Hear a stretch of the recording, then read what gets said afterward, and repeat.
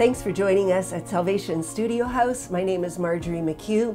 We're so glad that you've been watching these videos on the life and death of Mr. Badman, written by John Bunyan. And today we have a great program lined up. We're on chapter 16.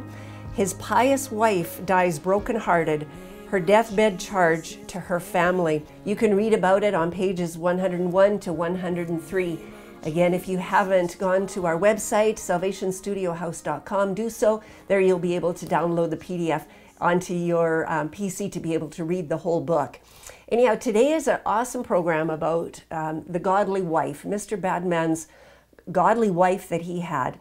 And you're going to see her characteristics and what the word has to say about godly women, and also the choices that a man and a woman make, uh, whether they choose to follow the Lord or not and follow his words and listen to godly counsel. I'd like to start though by reading what attentive and Wiseman say. How did his good wife take it when she saw that he had not mended his ways, but returned like a dog to his vomit? Why, it broke her heart. It was a worse disappointment to her than the cheating he engaged in to get her in marriage. At least she took it to heart and could not deal with well with it. You must think that she had sent up many a prayer to God for him before, even all the time he had behaved so badly towards her. And now, when she was so frightened in his sickness and wanted to live and get better, poor woman, she thought that the time had come for God to answer her prayers. Talks about like a dog returning to its vomit. That's how it's compared to what Mr. Badman did it says in Proverbs 26 10 through 12, the great God who formed everything gives the fool his hire and the transgressor his wages. As a dog returns to his own vomit, so a fool repeats his folly. Do you see a wise man in his own eyes? There is more hope for a fool than for him so we see the comparison, and it's really repulsive, I'm sure, if you have a pet and you know exactly what we're talking about when a dog returns to its vomit. It is not a pretty sight. And that's how a fool returning to his folly, his former lifestyle, is compared to. Mr. Wiseman goes on to say, Indeed, she didn't show her gladness and whisper it out among her friends, but when she saw herself disappointed by her husband turning rebel again, she could not bear up under it, but fell into a lingering fever and in a few weeks gave up the ghost. So, regardless of all the problems that she had lived, um, her godless husband, her children, only one of her children ended up following the Lord, she kept her faith in Christ Jesus. It was like she set her face like a flint towards the Father and towards heaven, and she did not give up hope. But you know what? She was dead to, she was dead to self. It says in Hebrews 12, 1 and 2, it says, Therefore, we also, since we are surrounded by so great a cloud of witnesses, let us lay aside every weight and the sin which so easily ensnares us, and let us run with endurance the race that is set before us, looking unto Jesus, the author and finisher of our faith who for the joy that was set before him endured the cross, despising the shame, and has sat down at the right hand of the throne of God. Mrs. Badman, she took up her cross and followed Christ regardless of everything that it cost her. She chose to follow the Lord. Let's read about what the rewards of heaven are for her in Hebrews 12 22 to 24. But you have come to Mount Zion, to the city of the living God, and the heavenly Jerusalem, to an innumerable company of angels, to the general assembly and the church of the firstborn who are registered in heaven, to God, the judge of all, to the spirits of just men made perfect, to Jesus, the mediator of a new covenant, and to the blood of sprinkling that speaks of a better thing than that of Abel. It also talks about in 1 Corinthians 15 54 to 56. So when this incorruptible has put on incorruption, and this mortal has put on immortality, then shall be brought to pass the saying that is written Death is swallowed up in victory. O death, where is your sting? O Hades, where is your victory? The sting of death is sin, and the strength of sin is the law. So, in the natural, you could look at this wife that she looked like she was on the bad end of the stick. You could say that she didn't look too victorious, right? She had suffered so many things. She had suffered adulteries, too numerous to count. She had suffered um, from her children rebelling against the Lord. And all of this left her broken hearted. But according to the word of God, she was victorious. She bore her cross with the joy set before her. And not only for that of herself, but in prayer and in faith, believing for her family, she stood in the gap all of her life. Let's look at Revelation 21 3 and 4. And I heard a loud voice from heaven saying, Behold, the tabernacle of God is with men, and he will dwell with them, and they shall be his people. God himself will be with them and their God, and God will wipe away every tear from their eyes, and there shall be no more death, nor sorrow, nor crying. There shall be no more pain, for the former things have passed away. So in her case, there would be no more adulteries, there would be no more persecutions, there would be no more anguish of soul, there would be no more pain because everything had passed away. And now she was living eternally with Jesus Christ, the rock of her salvation. So, how many Christian wives are out there today? And you might be able to identify with this if you're married and you've maybe married the wrong man. Maybe you were bamboozled and hoodwinked like Mrs. Badman was somebody sought you out just because you had money or just because you were the most beautiful woman or many other reasons that you could have been hoodwinked into a marriage that now as a christian you're standing and you're standing and you're standing.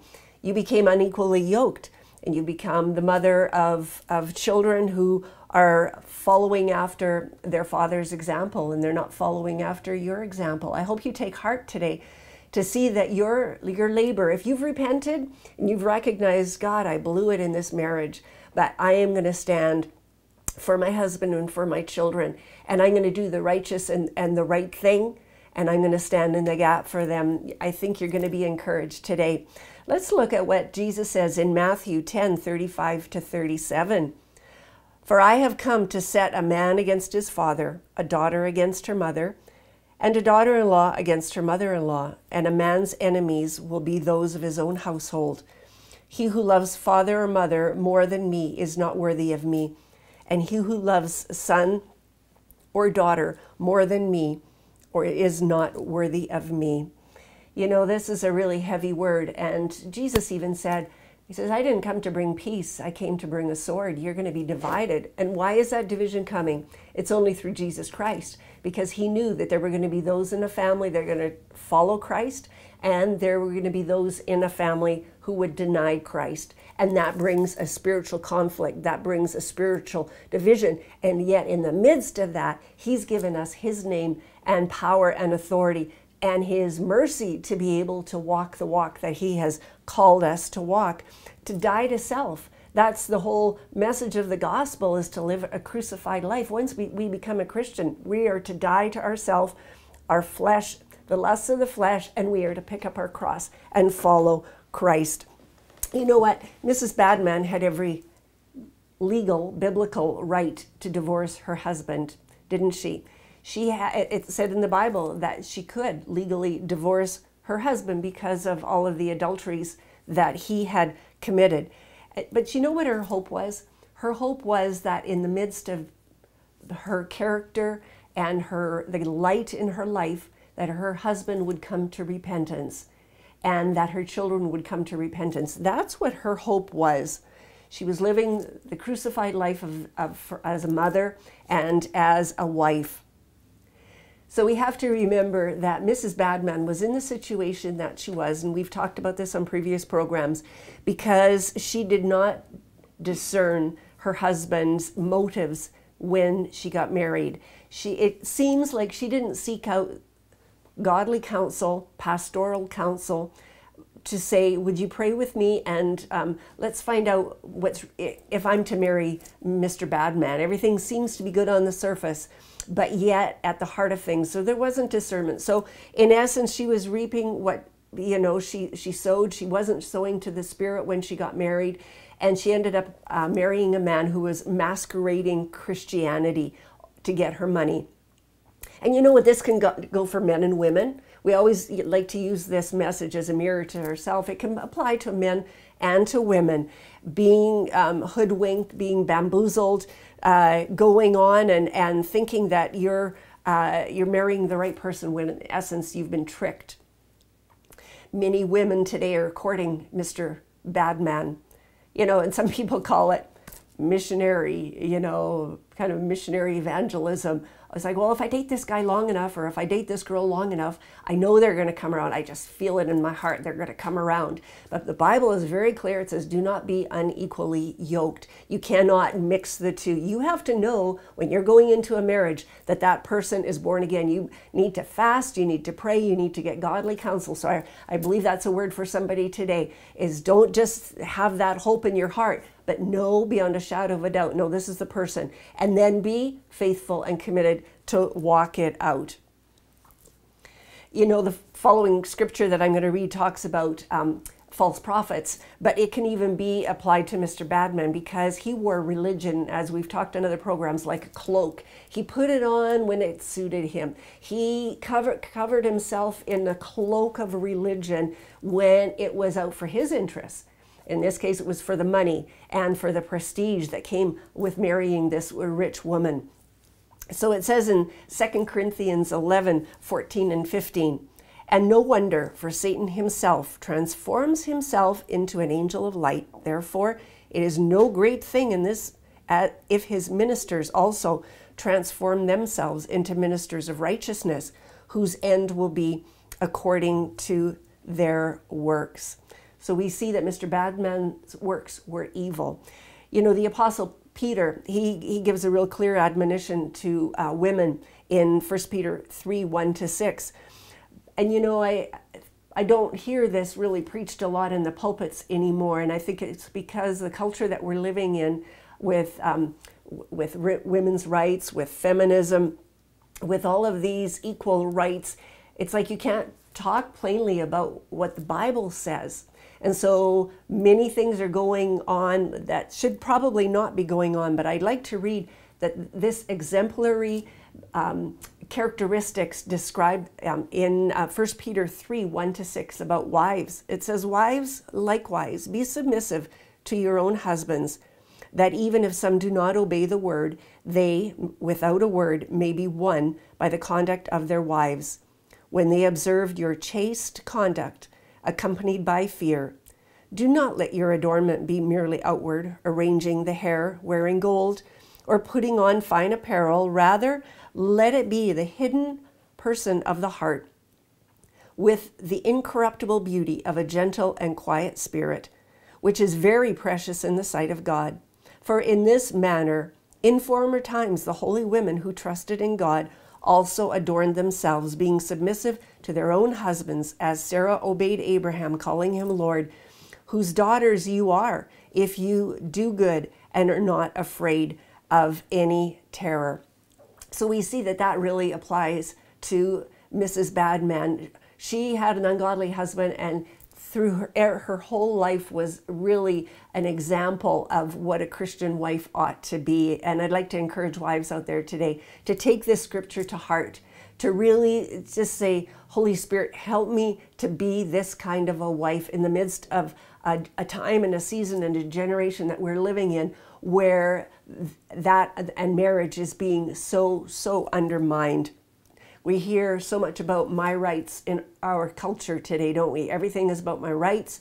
And as a Christian, we have laid down our rights, haven't we? We've laid down our rights and we've taken up the cross. Jesus says in Matthew 19, 1 to 10, and I'm not going to read all of it, but it talks, Jesus is talking here about um, adultery and divorce. It says, So the Pharisees also came to him, testing him and saying to him, is it lawful for a man to divorce his wife for just any reason? And he answered and said to them, Have you not read that he who made uh, made them at the beginning, made them male and female, and said, For this reason, a man shall leave his father and mother and be joined to his wife, and the two shall become one flesh. So then, they are no longer two, but one flesh. Therefore, what God has joined together, let not man separate. They said to him, Why then did Moses command to give a certificate of divorce and to put her away? And he said to them, Moses, because of the hardness of your hearts, permitted you to divorce your wives, but from the beginning it was not so. And I say to you, whoever divorces his wife, except for sexual immorality, and marries another commits adultery, and whoever marries her who is divorced commits adultery. His disciples said to him, If such is the case of a man with his wife, well, it is better not to marry. Talks about the hardness of heart. But you know what? Jesus even ups the ante. Uh, he, like he always does in Matthew 18, um, 21 to 22, where it talks about even, um, it says, Then Peter came to him and said, Lord, how often shall my brother sin against me and I forgive him? Up to seven times? And Jesus said to him, I do not say it to you up to seven times, but up to 70 times seven. So it's talking about a brother or a sister. How many times do I forgive the person who is sinning against me? But you know what? This also goes and applies heavily in marriage. A wife forgiving her husband and a husband forgiving his wife, not taking count of how many times you've done it in the day, but all the time. And this is what Mrs. Badman did. She continually walked in a spirit of forgiveness. We're to forgive so that we can be forgiven. Mrs. Badman was laying everything out on the line and she was forgiving her husband in spite of all of the abuse, in spite of all of the um, the things that went contrary uh, and the adulteries that he had. She had the right to divorce him, but she didn't. And you know, probably a lot of people were giving her ungodly counsel also. They were probably saying, Mrs. Badman, just, you know, forget it. Uh, you know, you're getting persecuted and things aren't going right for you. You have every right and all to be able to divorce your husband, but she didn't. So I think we have a lot to be able to see from her life. You know, she wasn't able to go to church, she wasn't able to pay her tithes. There were multiple reasons why she would have and could have left her husband. She gave, forgave him and she submitted herself to the word of the Lord. You know, it, you have all the biblical rights to be able to do if you're in a situation today where you know that this is happening in your marriage and it's clear in the Bible what it says. You do have your biblical rights, but in the long run, you really have to know what the Holy Spirit is saying. And this was a choice that Mrs. Badman made. She knew she'd gotten hoodwinked into the marriage. Now she had to deal with the consequences of it, and she chose to stay in the marriage. So the choice really is yours. So let's go on to see what Jesus said uh, regarding adultery in Matthew 5 27 to 28. You have heard that it was said of those of old, You shall not commit adultery. But I say to you that whoever looks upon a woman to lust for her has already committed adultery with her in his heart. So you've already committed adultery if you've lusted after a person, the Bible says. And again, this can go for a man or a woman. You're, you've already committed it in your heart. Jesus always ups the ante. He always is looking at the heart, for out of the abundance of the heart, the mouth speaks. It's what's going on inside of the heart that Jesus is always looking at. Committing adultery, unfortunately, is something that has become very prevalent in the church. And it's so sad to see that. And I believe it's a challenging time for us to pick up our Bibles and dust them off and say, what does the Bible have to say about marriage? And what does it have to say about adultery? You know, it could be uh, uh the roots of it. You could be have opened the door through um, through pornography, through flirting. I, I, you see it all the time. I see it oft, often you know, men and women flirting with people who are not their spouses. They're they're flirting. They're looking at them as they're walking down the street. They're taking a second glance. So it's something that they're doing in their heart. And you know what? If you do it long enough in your heart, eventually it's going to manifest. Jesus was clear. It, if, if it's going on inside of the heart, it's going to be acted out in one way or another. As a, as a Christian, again, Mrs. Badman chose to live out her Christianity in front of her husband and in front of her family. You know, in the natural, if you look at it, she wouldn't, Mrs. Badman would not have necessarily been a, a poster girl for women's rights, would she have? Today, everything is about the rights, my rights, my rights, women's rights, and everything like that. And I think that's why we're seeing such a, uh, an attack on, on marriage. So, what's the eternal perspective on all of this? As a result of Mrs. Badman's prayers, she knew that the day that her husband and her children stood before the judgment seat of Christ, she and herself, she would be able to say, I prayed and I prayed and I prayed. And her husband would have had to say, you know what, my wife prayed for me, but I chose a different, I chose a different path. So her prayer is the eternal side of all of this, and that's what we always have to keep in perspective when we're talking about the things of the Lord, the eternal side, what we're doing here on earth, the decisions that we're making here on earth will affect our eternal salvation. Jesus gave her the choice to take an easy road to leave the marriage, but she chose to take up her cross and follow Christ. She chose a difficult road, and some of you women are maybe having to choose a difficult road, but you know what? God's mercy is there for you. His grace is there to enable you to stand and having done everything to stand, and your rewards are being laid up for you in heaven. I'd like to read what Mrs. Badman says. Because some of you could be even questioning your prayers, like, why keep on praying? Why keep on standing in the gap? Why is God even hearing my prayers? Are they really worth anything? But I'd like to read what, uh, what it says in the story. It says, I have prayed often for my husband that he might be converted, but there has been no answer from God in the matter. Are my prayers lost? Are they forgotten? Are they thrown over the bar? No, they are hanging on the horns of the golden altar and I will have the benefit of them myself the moment I enter the gates, in which the righteous nation that keeps truth shall enter. Oh, yes, I say, I shall have the benefit of them. I can say, as holy David said, and I can say of my husband, as David said of his enemies, As for me, when they were sick, my clothing was sackcloth. I humbled myself with fasting, and my prayer returned into mine own bosom. My prayers are not lost, and my tears are in God's bottle.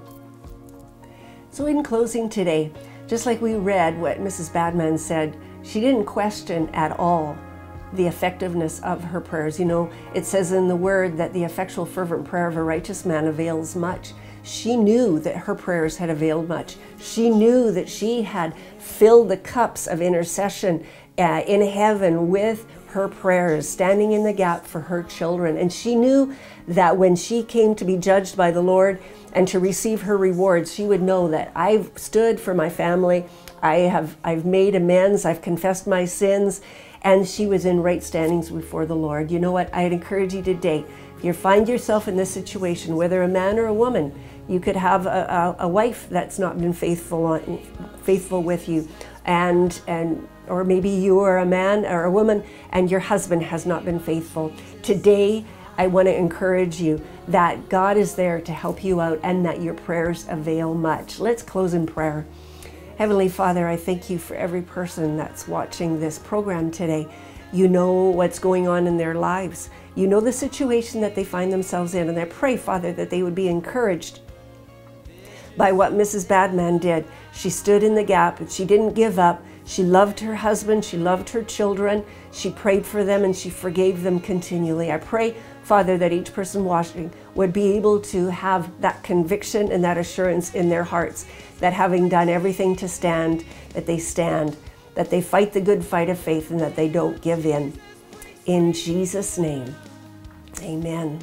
Again, thanks for joining us on this program, Salvation Studio House. Go to our website, salvationstudiohouse.com, to watch the rest of the videos on the life and death of Mr. Badman and read up on our illustrated messages. Thanks for watching this program. God bless you.